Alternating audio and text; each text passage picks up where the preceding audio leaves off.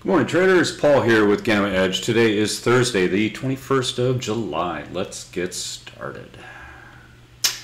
Pause your players. Please read this. Important to you, important to us. If you agree, hit the play button.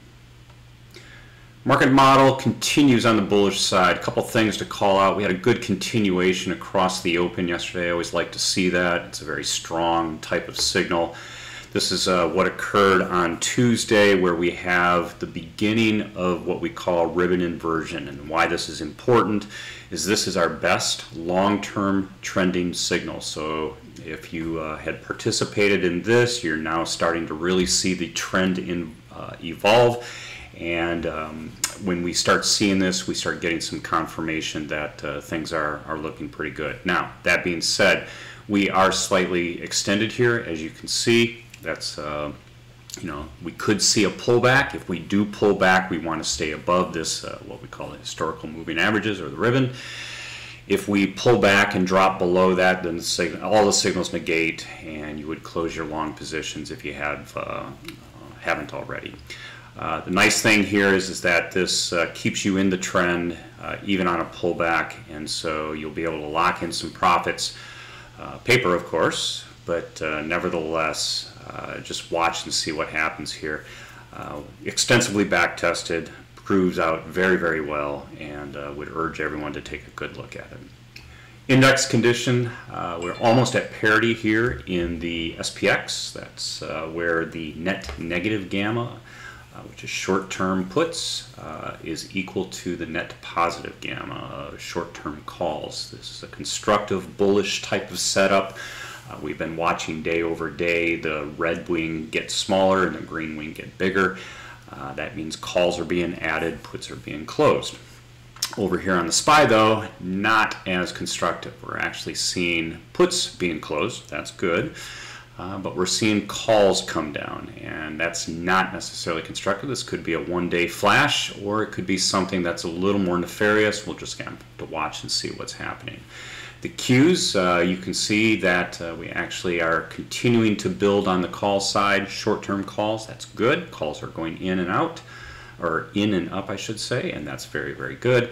And IWM, despite its uh, uh, being broken for months, uh, is continues to improve. We are seeing calls go in. We're starting to see some some real demand here on the short, uh, on the small caps in the short term, and that is constructive.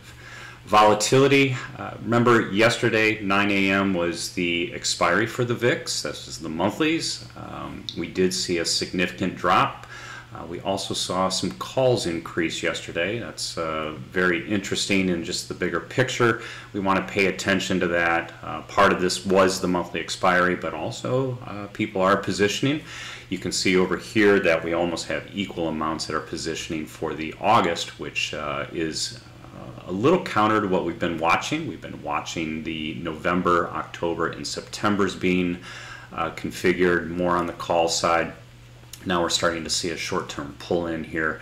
So I want to want to take a look at this and uh, and keep an eye on it. Here's the distribution of where those strikes are, and you can see that there are some opening positions down here in the put side and uh, up here in the call side, as well as short-term calls in this particular area.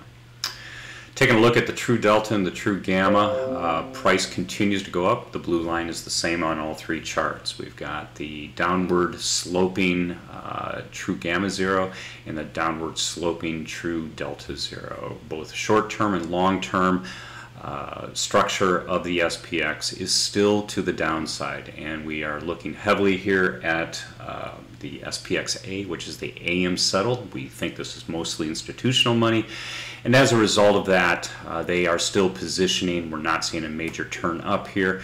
They are still positioning for lower prices uh, out in the future. SPX structure looking into today, we did have a move upward in minus trend, but as we showed yesterday in some of the edge rater tests that we've done, uh, there is no real edge here uh, when we see something like that, so don't read too much into this uh, when combined with that strong CT signal that we have. Uh, just something to be aware of. Um, we have the zeros that are down here. They're relatively stable. We are getting this up and down. This is why it says down one day, up one day. We are kind of oscillating back and forth, which is just normal stable behavior. Uh, looking here at the key levels, that 3950 is uh, showing itself as a fairly dominant level in the PM expiry, which is here on the left. The combo expiry is still 4000. You can see it's almost zero. It's almost been neutralized here. Uh, it's actually quite easy from where we sit to actually blow through 4000, but I'll show you, uh, we got a couple things to, to look at here as we go higher.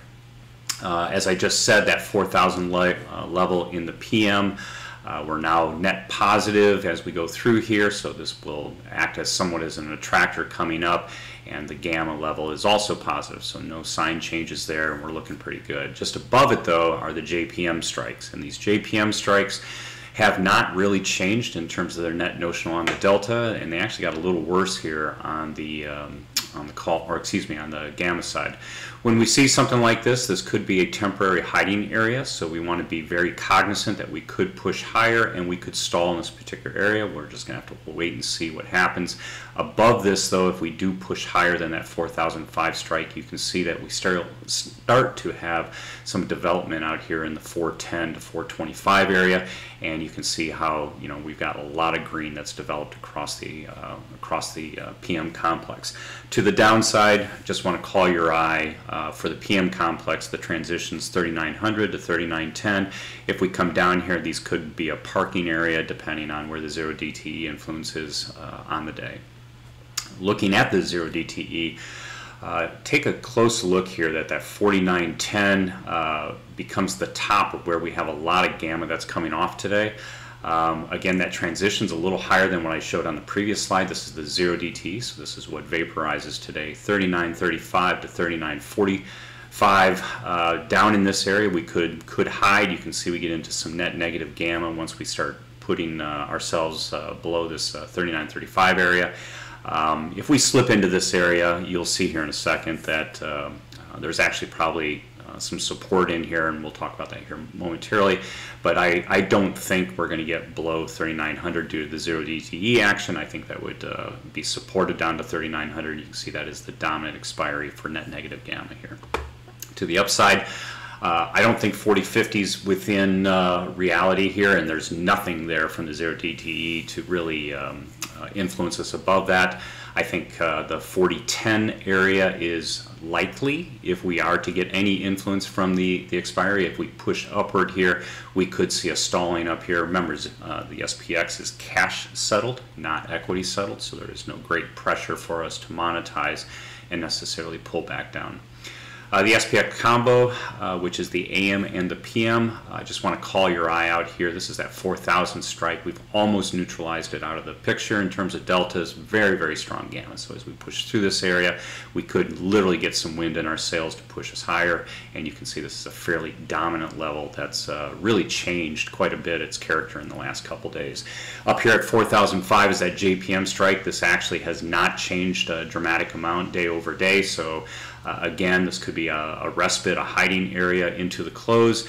Uh, I would like to, even though this 8 million is well within the absorption range from the dealers, it's in a sea of green, and so this could become a stalling area or a temporary area of liquidity, and we're going to want to have to watch what, what's going on there. But note, this is the largest gamma of the uh, of the complex right now, so if we do push through this area, there's going to be a lot of wind in the sails to uh, to adjust. To the downside, this 3910 to 3875 is, is one pocket of negative gamma, still very positive on the, uh, the deltas. Um, so we could push down into this area and it could offer a little bit of support, especially as we get down here. And then if we lose this area, which is always possible, uh, the 3860, 3865 area becomes kind of that last line in the sand in the SPX complex. If we drop below that 3860, 3865 area, we turn into a negative um, uh, gamma region and we'll start neutralizing and most likely the puts will go in neutralizing a lot of the positive uh, delta that you see here. Excuse me. Taking a look at the SPX, um, just a couple things to call out. The strike here at 4,000 is just hugely dominant now compared to yesterday. I urge everyone to go back to yesterday and take a look. The uh, strike at 4005, which is the JPM short calls, still needs to be neutralized. The key takeaway is that we have broken out of the base of the transition and we are now really starting to move upward through the uh, the overall structure. This is important. This is what we need for the bullish signal to continue, um, and this will continue to pull us upward. Knowing, of course, that we've got this as our last line. You can see all the other negative gamma that was impacting us yesterday has vaporized. It's been neutralized. Uh, which is important, right? So upward progress is uh, is getting clear. If we take a look at the downside, a uh, little problematic, a little worrisome for the bears is that, uh, or, or the bulls, uh, depending on how you look at it, is that we are continuing to lose gamma uh, down here. We're seeing the closing of puts. Uh, we didn't really move much from yesterday, maybe 20 points, and so it's not just that gamma or spot prices moved up, decreasing the amount of gamma that we're seeing. Even though the relative magnitudes are, are, are constant across the days, we're actually seeing just a net drop. And uh, that's problematic. Liquidity is vaporizing down here. And as liquidity vaporizes on your downside protection, when you need it, there's not going to be anything there to sell. And so part of the theory behind this is, is that if you lose your downside protection, um, people are first of all will start paying a premium for this. That's one thing, and that'll be good for the market makers. But two, um, the market makers are going to be able to effectively set their prices on the spreads, and uh, it's going to become more expensive, lower liquidity, not a good situation. And so you're going to see volatility as this gets smaller and smaller here on the left. We could see volatility actually increase quite a bit uh, when we don't have that liquidity. So what's the uh, the summary for today? Market model it's extended, as I said, but bullish trend continues. We're in the longest, the best signal that we have for, uh, for the bullish trend. Um, pay attention. If you're not increasing your long exposure, you may be missing out. Uh, paper trading, of course.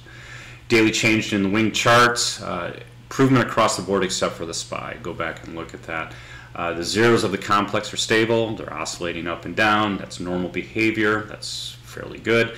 Uh, the next target remains that 4,000, 4,005 strike uh, takeout zone. If we can get above that, then we've got to plow through the 410 to 425. I think we probably pause as we get through here. We'll see. Uh, we'll see how the zero DTE influences that, if at all. Downside protection, as I was just saying, below the 3900 strike is vaporizing. It's a weak structure for liquidity, excuse me. And so uh, as a result, I would consider some zero cost downside protection right now. Do buy insurance when you don't need it. So that's it for today. If you like today's content, I urge you to come and join us at gammaedge.us. That'll get you into our Discord, 14 day free trial, all the tools turned on, um, great group of traders. Uh, it's, uh, it's a good place to be. Uh, really enjoy working with everyone there. a lot of different styles, a lot of different skills. Uh, follow us on Twitter, please, at Gamma Edges with an S. And then here on YouTube, if you like today's content, let me know. Uh, smash that like button, and of course, subscribe so you get notified next time we post something. So, with that, I bid everyone adieu. Uh, have a great Thursday. Hope to see you in the Discord. Take care.